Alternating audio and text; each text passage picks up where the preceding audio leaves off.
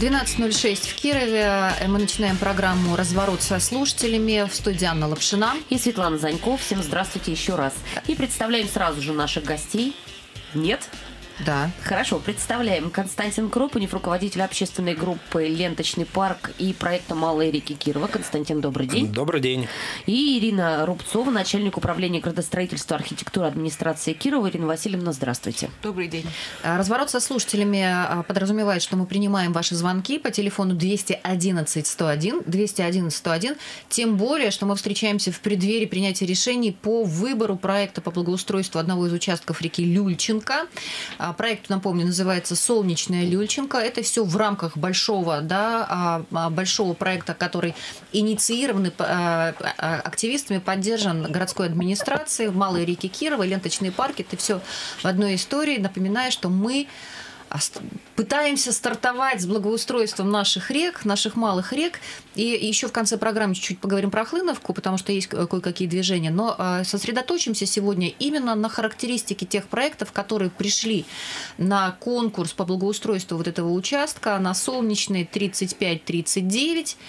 И а, огромное количество, на мой взгляд, проектов пришло для такого короткого времени, для такого маленького участка, где-то, где даже кировчане-то не бывали а, вот в этом, вот в этом районе города. Не все даже знают, где это. А мы видим, что поступили проекты а, из разных городов России, от Петербурга и Нижнего Новгорода до Румынии даже. Вот пришли проекты, и мы тут уже... 18 проектов. Да, с Ириной Васильевной... Владивосток, Волгоград. Да, от Владивостока до Румынии, так скажем. Прислали люди проекты. Можете себе представить? Я вот себе не представляла еще такого несколько лет назад, а сейчас это произошло. Давайте прежде всего мы сориентируем наших слушателей, по какому поводу они смогут звонить, 211 101. Наверное, мы просим а, звонить прежде тех, кто уже посмотрел проекты и может высказаться на сайте а, рекикирова.ру, рекикирова.ру. Если еще не посмотрели, прямо сейчас заходите. Они все выложены очень в доступной форме. Там есть и сами проектные работы, и визуализация и даже по некоторым проектам несколько слов об авторах этих проектов рекикирова.ру 211 101. Если вы не смотрели и вообще в первый раз слышите об этом проекте и у вас возникает вопрос, тоже звоните. Свет, я немножко тебя поправлю. Лучше все же смотреть через социальные сети. То есть это либо страничка ВКонтакте «Солнечная Люльченко», где есть прямая ссылка на эти проекты, угу. либо сайт «Красивый Киров», либо Facebook э, это «Реки Кирова». Ну, даже если люди в процессе эфира не успеют посмотреть, мне кажется, все равно э, могут они зайти и посмотреть, потому что голосование ведь идет у вас, я так понимаю. Не совсем голосование, потому что, конечно, окончательное решение мы будем принимать э, комиссией определенной, угу. а сейчас идет э, некое обсуждение, некий сбор мнений и пожеланий. То есть, то есть высказаться на страничках можно? Да, высказаться, это наоборот приветствуется, то есть мы как раз хотим понять, что понравилось кировчанам, что не понравилось, э, что они для себя увидели нового и ну, как, как, какие-то их эмоции или мнения. То есть нам это очень важно, действительно. Я вот должна сказать, что я сейчас смотрю, и мне кажется, что это вот ну, что-то нереальное. Это не Киров. Так не может быть. Вот те проекты, которые есть, я не знаю, реализуются ли они в том виде, в котором они а, по задумке автора существуют пока. Но вот то, что я вижу, это, конечно, что-то нереальное. Это напоминает московские общественные пространства. Вот эти да, вот, да, да, да, даже европейские. Вы зайдете, европейские. Да, тут есть не только фотографии и схемы, здесь есть целые фильмы снятые, да, панорамные, как это может выглядеть. Поэтому, на мой взгляд, во-первых, а, все эти проекты достойны внимания. Вот то, что я сейчас посмотрела, абсолютно все достойны внимания. Мы видим, что присылают и университеты, например, Томский университет прислал там, да, и отдельные архитекторы. Эти проекты профессиональные достаточно. Мы Ирину Васильевну еще спросим с точки зрения профессионала, как вы оцениваете эти проекты. А, но самое это главное, что у нас есть 18 основ, которые в дальнейшем можно использовать на разных участках Люльчинки. Однако а может, и не только Люльченки, кстати. Э, да, у нас несколько рек. А, а, однако сейчас сосредоточимся на этих конкретных проектах и на отборе, потому что 14 числа, 14 марта на этой неделе состоится большое заседание большой комиссии уже по отбору Послезавтра. проектов. Послезавтра. Да, по отбору проектов. А, Илья Вячеславович Шульгин будет возглавлять, да, я так понимаю, эту комиссию, Константин? Ну, да, если ничего не поменяется. Но, опять же, Светлана, я хочу, э, хочу немножко поправить. Все же это э, разбор концепции, то есть не совсем проект, проекты, то есть это мы будем обсуждать, вот это прислано нам концепции, как эти территории можно развивать. То есть мы еще не будем а, ставить точку? Нет, там... мы точку, скорее всего, поставим, если у нас это получится, если у нас произойдет конструктивное обсуждение, и, соответственно, уже на базе этой концепции будем делать уже конечный какой-то проект, который мы будем пытаться реализовать. Я вот сейчас смотрю каждый проект, и буквально в каждом хочется жить. Вот честно, честное слово. Так, давайте мы передадим слово э, Ирине Васильевне Рубцовой. Э, оцените, пожалуйста, вот э, эти 18 проектов и отметьте те, которые вам, как архитектору, наиболее интересными показались. Наверное, очень много где-то общего в этих проектах, потому что территория одна, то есть какие-то очевидные вещи, которые можно э, применить. Э, потом это местоположение, это все-таки не общегородская территория, городской парк. А, такого более районного значения, микрорайонного значения, где большей частью будут отдыхать все-таки жители э, ближайших домов. Поэтому, в общем-то, есть ситуация реальная, это связано с переходом через саму речку, с наличием там теплотрассы, которые, ну, наверное, быстро не решить вопрос, там, убрать ее куда-то или каким-то образом. А я, кстати, вижу, ну, ее можно, проектах... кажется, замаскировать как-то, да, да, да, или, сделать, или сделать прямо да, арт-объект. Да, да, на этих проектах и показано, кстати говоря. Ну, это вот стиль хай-тек называется, угу. когда там, собственно говоря, из него можно сделать как достопримечательным объектом, который можно обыграть каким-то образом. Ну, есть варианты, как это можно сделать, и ничего в этом такого страшного не будет, просто как это сделать. Вот. Ну и, собственно говоря, тут речь идет и о зонировании определенной территории, которая очень, наверное, нужна всегда, потому что есть разные группы населения, есть разные типы отдыхов. Вот, соединяет в основном все их эти дорожки определенные. Что касается эм, конкретных авторов, Э, то, наверное, мне бы интересно хотелось оформить, э, отметить э, румынский проект. Ой, я сейчас на него смотрю, вот да. мне кажется, человек просто не понимает разницу в климате Румынии и ну, Кирова. Ну, но выглядит это просто вот а настолько, тут, что туда я нырнуть вижу, а, хочется. А тут в этот да, тут связано с системой, с подходом. То есть, в принципе, мы тоже успели пообсуждать у себя в управлении немножечко перед отходом. Именно чем понравился подход, что вот такой современный европейский, где человек может находиться и в сообществе есть возможность уединения вот. И зонирование вот с помощью этих вот сот, оно как бы очень четко читается, это можно и цветом выделить, и это же могут быть дорожки, которые определяют эти соты, какие-то деревянные там настилы и так угу. далее. Вот и каждая зона будет четко читаться и, в общем, позволяет даже территорию расширять понравился. Из Томска проект, вот первый как раз Томский государственный университет. Ну, наверное, потому что там больше созерцательного отдыха, чего нам не хватает, в принципе, э, наверное, по жизни очень многим, да, потому что выходные хотелось бы отдохнуть, не обязательно там где-то заниматься активно, э, и, наверное, вечером хотелось бы, может, прогуляться тихо, спокойно вдоль реки понравился проект, где используют, не, не помню, к сожалению, всех авторов, где вот как раз теплотрасса там применяется, цвет теплотрассы красный, там уделяются элементы, это уже на теплотрасса становится элементом ландшафта. Ну и не очень приветствую проекты, где вот какие-то искусственные сооружения, они а, превалируют над природными объектами. Вот мое мнение такое. Я, конечно, еще внимательно посмотрю и сегодня, и завтра посижу, для того, чтобы ну, уже как-то более четко сформулировать, может, свое мнение. Как интересно, я сейчас просмотрела целиком ролик а, из Румынии. Угу. Показан объекты э, Э, с разных сторон, но еще и в разное время суток и дневное, и утреннее, и ночное, и это очень интересно.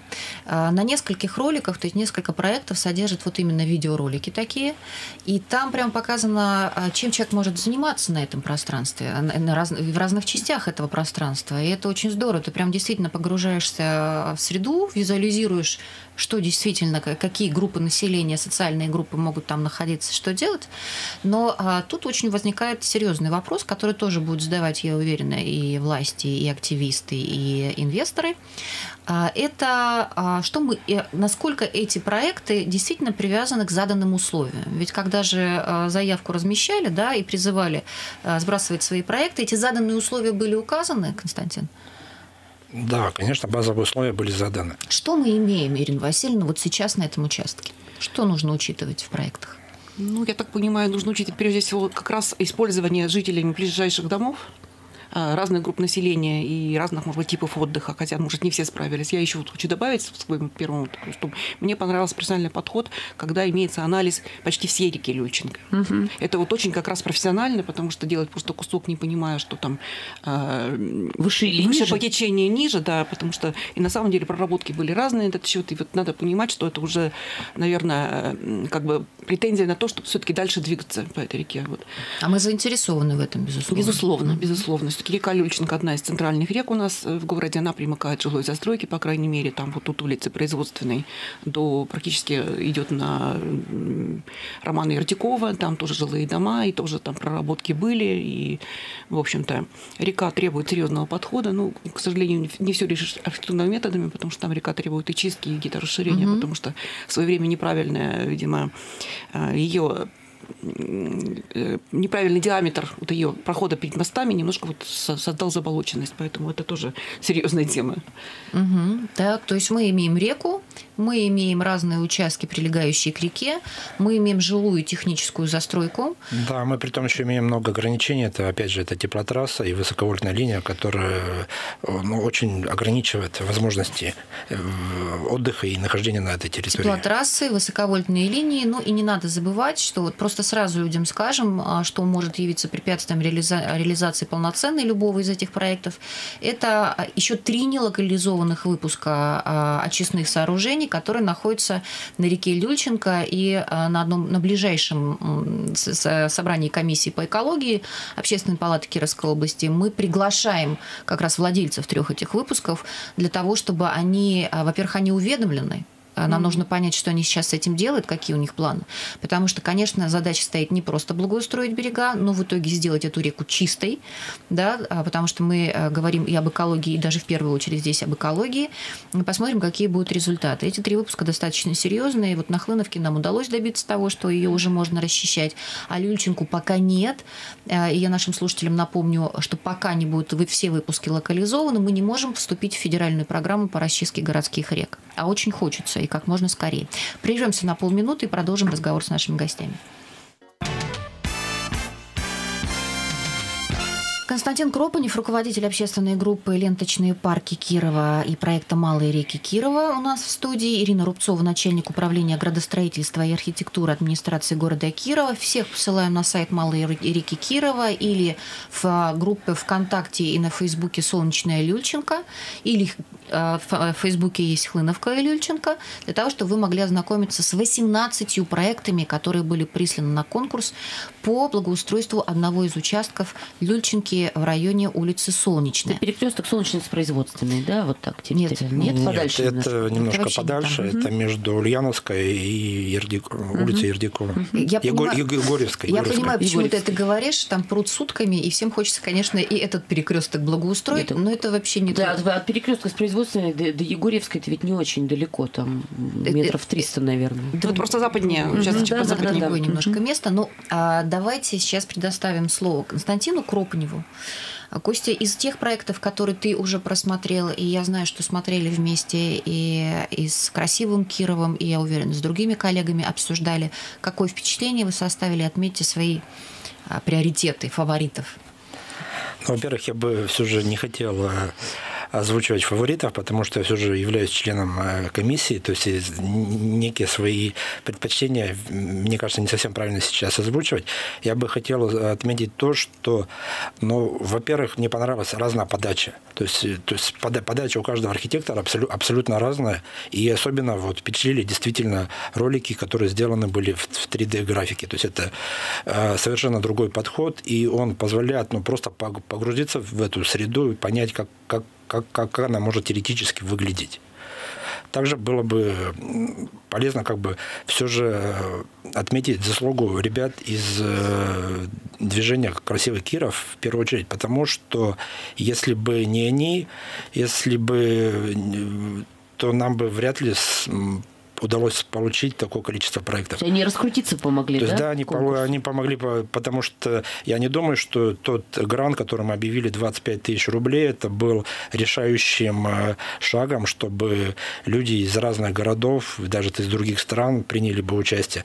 А в первую очередь это был, то есть, так скажем, э, появился интерес к нашему проекту, потому что нам удалось э, прорекламировать этот проект на ведущих архитекторских площадках, в том числе даже стрелка, она сделала, сделала некую публикацию, сделала некий анонс нашего проекта, и после этого вот мы действительно увидели э, большой интерес ну, Кирову к нашей, ну, так скажем, совсем непростой территории. Я э, хочу обратить внимание действительно на, на проекты, э, как они представлены. Э, и очень хотелось бы, что в конце концов, когда-то и наши тоже университеты, и наши студенты, и преподаватели, архитекторы такие присылали. Вот мы смотрим проект номер один. Авторы из города Томска, Левашова и Кравцова, они дают и генплан, они дают и аэрофотосъемку, они дают схему, и дальше идут картинки. Я вижу, что большое количество дерева здесь используется, что лично мне, конечно, очень нравится, потому что природные территории, особенно слегка подболоченные природные территории со сложным рельефом, но имеющие воду, имеют приподнятые площадки, сохраняя при этом ландшафт, но используя природные материалы. И даже а, внешний вид, хотя мне вот а, чисто концептуально больше все-таки нравится как бы история ближе к европейским, но даже внешний вид, который мы видим вот этого сквера на общей картине, которую они представляют, он, он такой как раз, а, наоборот, совсем российский, с такой ротондой, ротондой, да, классической, а, с такой ротондой, но он сохраняет вот этот ландшафт, он опирается на те, а, вот, вот, вот на, на, на тот рельеф, который есть, и он тоже очень приятный. И мало того, они еще, я так понимаю, при, я правильно вижу, при, прилагают а, документацию, да, а, планшетную Светлана, ты обрати внимание, что, что этот проект сделали все же студенты, маги, студенты. студенты магистратуры, при том проект действительно очень высокого уровня, который, в принципе, просто можно брать как бы и реализовывать. И там у них прописано все согласно СНИПам, ГОСТам, и там вплоть до того, какие растения они там рекомендуют высадить на, на той территории. Готовая Какие история. молодцы. Нет, это, это готовая так это история. профессионалы, готовы почти профессионалы Профессиональный уже, подход. Да. И а, сразу можно сказать, а, заинтересованы те, кто нас слушает, потому что я знаю, что очень много жителей Кирова, и в том числе там предпринимателей, они спрашивают, а вот мы хотим что-то благоустроить, кому нам обратиться? Дайте, дайте нам где-нибудь участочек. Есть контакты. Нет, сил. нет, нет, не, я не про это сейчас, а я про, про как раз профессионалов, которые это делали. Есть контакты вот здесь же на этой страничке и Елены Левашовой, и Марии Кравцовой, ссылки на их группы ВКонтакте, есть телефоны, можно связываться с авторами, что-то обсуждать и, например, пользоваться их услугами. Это правильно. Это, кстати, один тоже из аспектов, почему профессиональные архитекторы участвуют в таких вот конкурсах. Это, конечно, распространение своего знания и предложение своих услуг. Это, это тоже очень важно. Ну, кстати, мотивация у всех архитекторов была разная. То есть были интересны, допустим, проект Санкт-Петербурга. Э, почему э, там э, человек принял участие в нашем конкурсе. Они-то. Их несколько. Нет, нет, другой проект? это другой, другой проект. Там просто он родом из Кирова, и ему хотелось сделать что-то полезное для, для Кирова. Города. Для города. Он или она? Я он. По... Сергей, так. Сергей Берянчиков. Сергей Берянчиков. Сейчас Но мы, мы видим, это 11 проект. проект. А, вот, а у кого-то там действительно был некий зов души, то есть есть проекты, вот, которые э, по всей территории э, реки Люльчинки, там э, больше такой концептуальный подход, и, и у них ну, просто люди действительно, видно, хотят немножко как бы преобразить действительность, ну, сделать наш мир лучше. Угу. Я сейчас открою а, проект Сергея Белянчикова. Надо сказать, что он не единственный, кто родом из Кирова и делает проекты для нас, потому что человек, который делал проект для а, парка у Дворца пионеров Мемориал, да, Аня, она тоже из Кирова, и тоже у нее душа болит, и хочется участвовать вот в этой истории. Я вот сейчас открыла а, проект Сергея Белянчикова «Санкт-Петербург», который Киров, Санкт-Петербург. Очень много, вот это уже место общественное пространство. Это не совсем то, что нравится Ирине Васильевне, которая да, да. предпочитает сохранять ландшафт, но вполне возможно, что жителям именно это понравится. Надо смотреть, какой запрос. Мы же все равно будем отталкиваться в том числе и от запросов жителей. Здесь очень много э, каких-то малых архитектурных форм, игровых площадок для детей, в том числе и над водой, что очень интересно на самом деле. А, и э, вот буквально, вот честно говоря, вы знаете, я смотрю каждый проект, и хочется, чтобы каждый из них нашел себе место на наших реках. Правда. Аня, ты посмотрела, какой тебе проект нравится? Вот, э, что зацепило глаз? Я, я пока не определилась, ты знаешь, потому что их очень много, они все разные, и они, очень, конечно... Очень подолгу смотреть а, надо. Да, надо каждый изучать да, детально. Подолгу.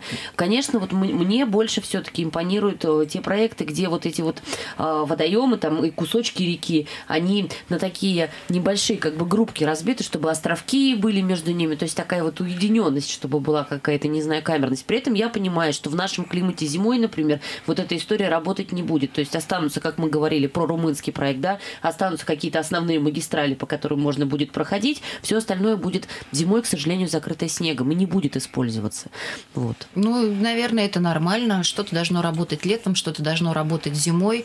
Ну, прогулки-то ведь не исключены, наверное. Ну да, нет, конечно, там все равно будет в любом случае это будет благоустроенная зона, в которую будет приятно зайти. А вот, кстати, я обратила внимание, что у Дмитрия Скутина, автора пятого проекта, э, разложенные малые архитектурные формы, скамейка, какая она должна быть, там деревянный помост, детская площадка и даже урна, причем урна Раздельная. с раздельным сбором мусора. да, разноцветные. Это, это очень важно, кстати, это очень важно, и это очень правильно, и мне кажется, что здорово, что вот в таких проектах сразу закладывается, в общем, современная парадигма, и к этому надо двигаться.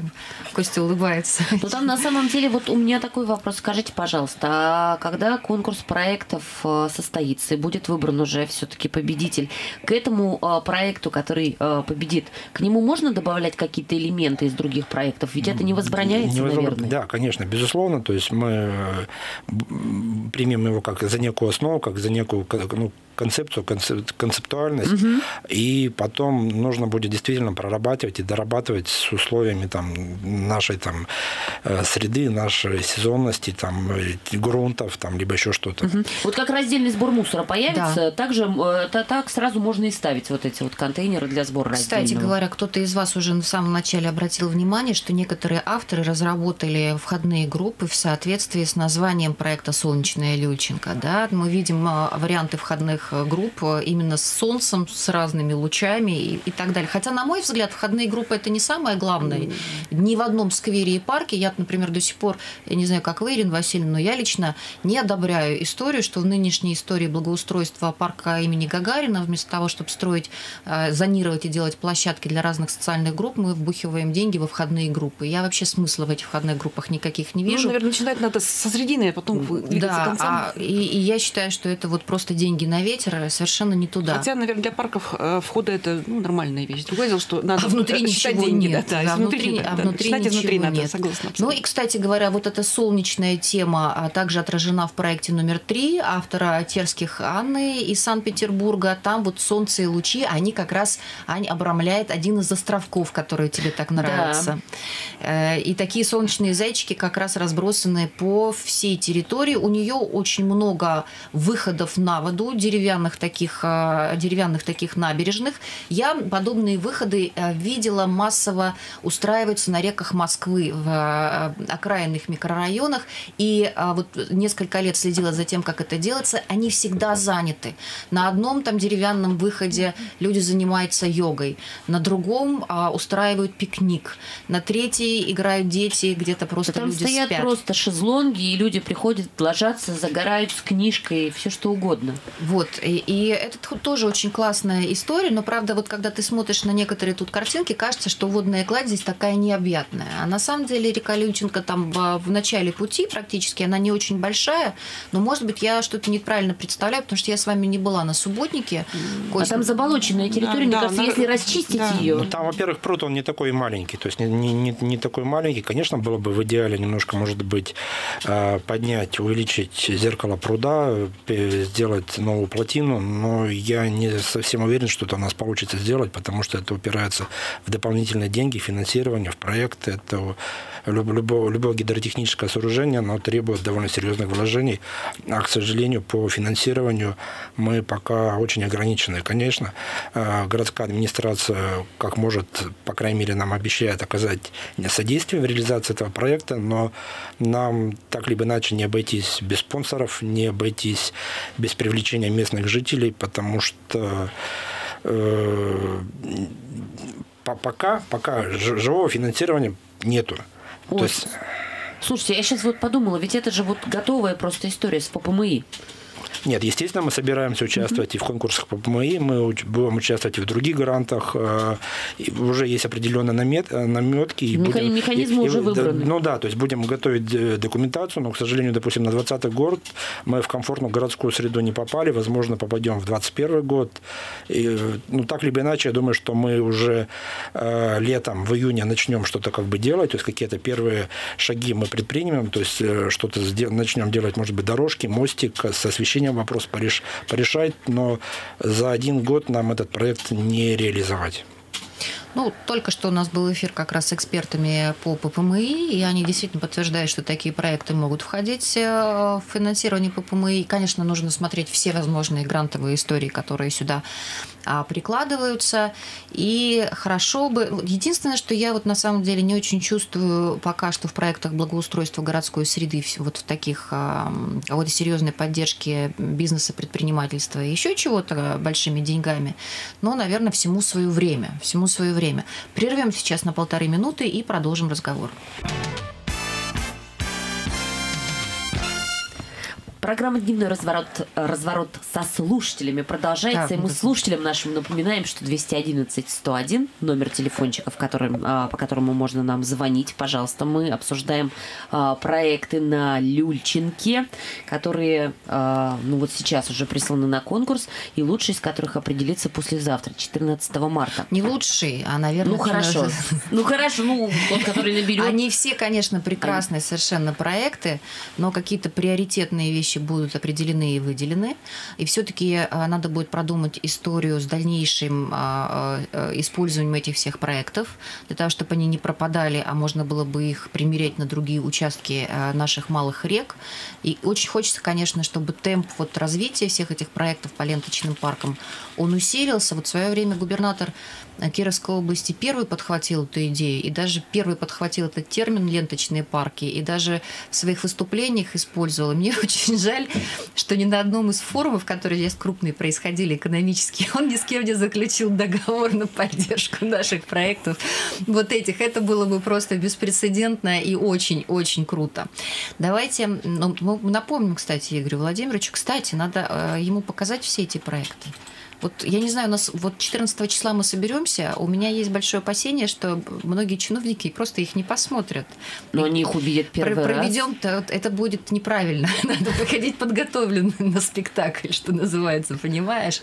Прочитать сначала произведение, а потом уже смотреть и обсуждать ну, это, это надо будет сделать обязательно. И с Игорем а, Владимировичем это обсудить. Понятно, что Илья Вячеславович это все дело посмотрит. Хорошо бы, чтобы главы и все заинтересованные лица здесь тоже выступили уже, уже экспертно. А, мы должны а, сказать, там, соблюсти все правила и сказать, что из Кирова тоже пришли проекты. Вот мы смотрим на проект номер 18. 18 Мария Писарева. Это один проект. Кировский проект один. Да, к сожалению, мы тоже думали, что кировских будет проектов больше, но в результате получили только один кировский проект.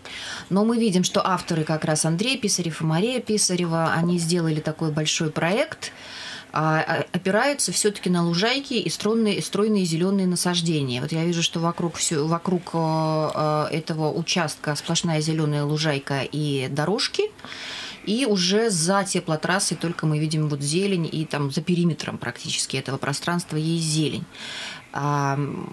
что лично меня не очень устраивает, потому что я тоже хотела бы, чтобы это больше напоминало природный парк, но, возможно, как раз, например, там, я не знаю, жители это будет устраивать больше.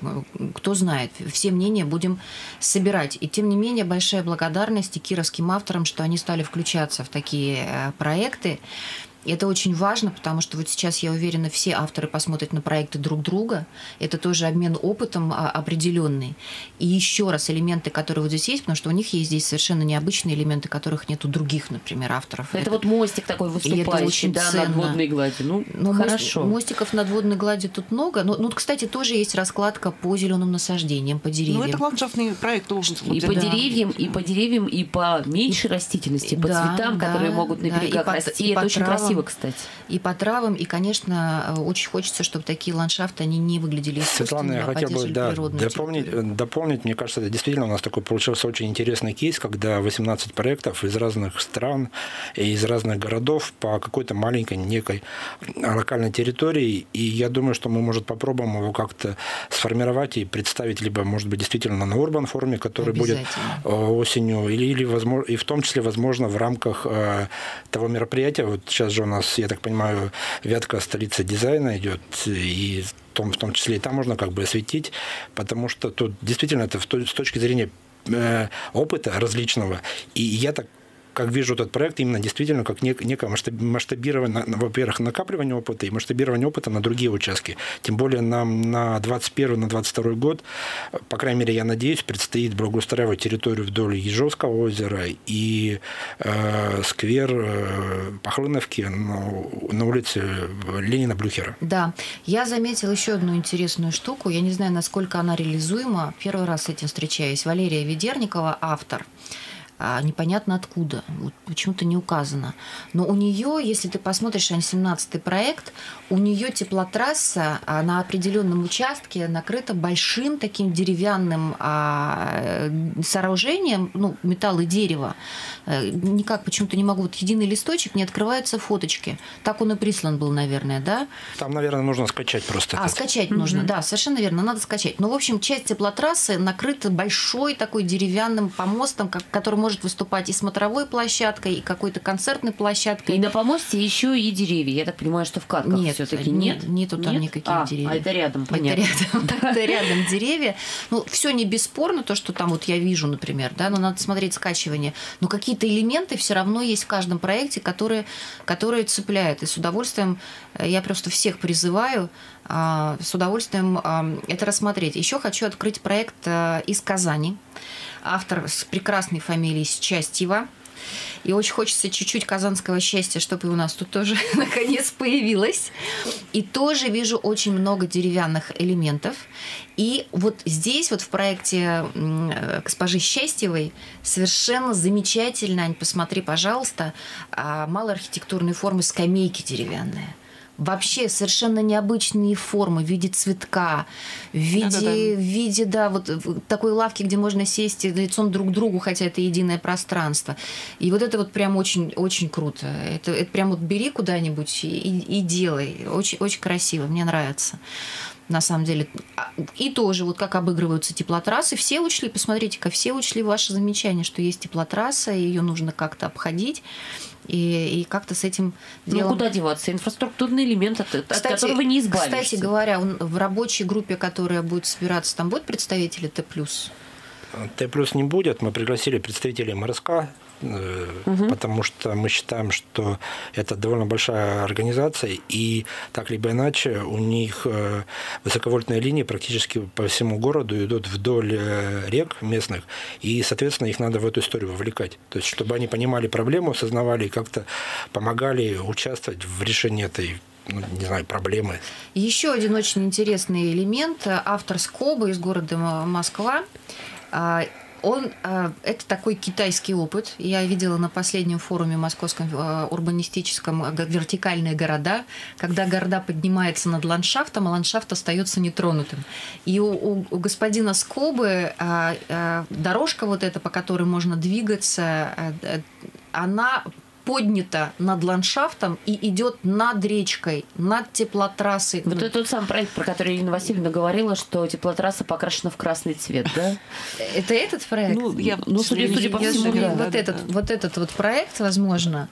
Но тут очень интересно. Да, он, он показывает, что, посмотрите, не обязательно всю реку благоустраивать, почистить-то, конечно, нужно, но вот благоустроить один прудик, другой прудик, а между ними над ландшафтом и над теплотрассой пустить запустить вот такую извилистую Дорожку. дорогу, пожалуйста. И, и почему нет? Вполне возможно, что Действительно, если мы хотим создать хороша. именно какой-то такой протяженный ленточный парк, это, возможно, не, не такое плохое решение. Да, абсолютно Интересно. точно. По крайней мере, уж оно явно не скучное, и где-то такой элемент, вот лично я хотела бы, чтобы появился в городе Кирове. На Люльчинке огромное количество прудов, просто огромное. А, мы еще раз обращаем ваше внимание на сайт рекикирова.ру. Вы можете зайти посмотреть все эти проекты и следить за голосованием, сами участвовать. И мало того... Писать комментарии. Да, как можно чаще заходить на этот сайт, потому что, конечно же, начнутся с весны субботники. Конечно же, а, какие-то элементы начала благоустройства будут появляться уже в этом году. И группа очень заинтересована в новых а, силах свежих, в волонтерах, в инвесторах в, да, во всех а Помощь действительно нужна. Помощь нужна и деньгами, помощь нужна руками, помощь нужна дизайнеров. То есть и если у кого есть желание присоединяться, пожалуйста, меня очень легко найти в соцсетях, пишите, я готов я вот сейчас смотрю, Дмитрий Фитчун, город Владивосток, проект, мы еще его не отметили, а там такая Светлана... Номер, какой номер? А, Ох, слушай, я, я даже... Сверху даже. Сверху, да. Где-то, ну, это где самое интересное видео первых. в, 3, в 3D. Там отличный совершенно, да, видеоматериал, и там вот эта вот арочная дорога, такая галерея просто э, уви, увитая А, ты, ты, э, это, это очень. Я знаю, что тебе понравилось. Да. Ты очень любишь сад свой, садоводческую историю. Я его, Нет, я его увидела. У меня, к сожалению, там нет возможности такой. Да, а здесь вот я, я тоже его видела. Я думаю, что а, вот эти перголы, увитые плющом, они, ну, плющ у нас нас вот этот не вырастет, который вот тут указан. Да ладно, что-нибудь да вырастет. Хотя, хотя я думаю, что очень многим э, в Кирове такая история бы понравилась. Просто виться у нас практически нечему, кроме девичьего винограда здесь. Там, кстати, у какого-то из архитекторов есть предусмотрен маленький огородик. Это сейчас это тоже... прекрасно, это, это, тоже, замечательно, это, это тоже сейчас очень, очень, очень модный современный тренд. Маленькие огородики, небо, небольшие огородики, и там как раз так, такая локация Общественные есть такие да. пространства во многих А там детские сады где-то где есть рядом школы? можно высаживать. Внутри квартала, наверное, есть? Понимаете, ведь можно же учитывать и вот эту историю, э, потому что если сохранять экологически, максимально сохранить экологически вот это там, э, как это называется-то, я все время забываю уже из курса биологии.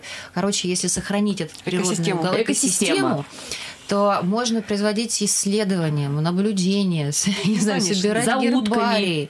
За утками это другая история, не нарушает экосистему. Утки очень часто нарушают. И, кстати, э, даже вспоминаю, тут же возвращаясь к дендропарку, я думаю, я вот просто возвращаюсь даже к тому пруду, по которому тоже вот есть вопросы. Некоторые элементы очень даже применимы и в дендропарке у пруда. Это, это прям очень хороший вы собрали, мне кажется, материал, Ирина Васильевна, правда же? Ну да. Который можно прямо использовать, и большая благодарность авторам. Ну, это второй проект, я не могу тоже не отметить, петербургские авторы. А, это тот проект, где большое количество конструкций таких, я не знаю, там для активного, не для активного отдыха, вот эти металлические или деревянные конструкции, гамаки между ними да, повешенные. То есть там, вот мне это кажется, для детских активностей это вот, ну, просто замечательная история. Там главное, что эти вот гамаки, они под крытыми, под, кры, под крышами такими находятся, mm-hmm. что можно скрыться от дождя, например. Я тоже этот видела проект, хотя мне как раз, я думаю, что это металлические конструкции, и это не очень понравилось. Зато Но гамаки понравились очень. Да. Итак, 14 числа будет совещание. Я думаю, что мы на следующей неделе а, отразим какие-то его промежуточные итоги. Ну и, конечно, будем вас, горожане, информировать о том, где и как можно поучаствовать э, в проектах а, проектах большой такой, да, большой такой инициативы Киров меняется, и в частности солнечные Люльчинки. Спасибо нашим экспертам, которые нас сегодня навестили в студии. Константин Кропанев, руководитель общественной группы «Ленточный парк» проекта «Малые реки Кирова» и Ирина Рубцова, начальник управления градостроительства и архитектуры администрации города Кирова. А, большой блок э, дневных разворотов, разворотов со слушателями завершен. Сейчас новости, тематические программы, реклама. Через 20 минут особое мнение Николай Голиков у Светланы Занько с самыми последними там новостями, темами и прочее.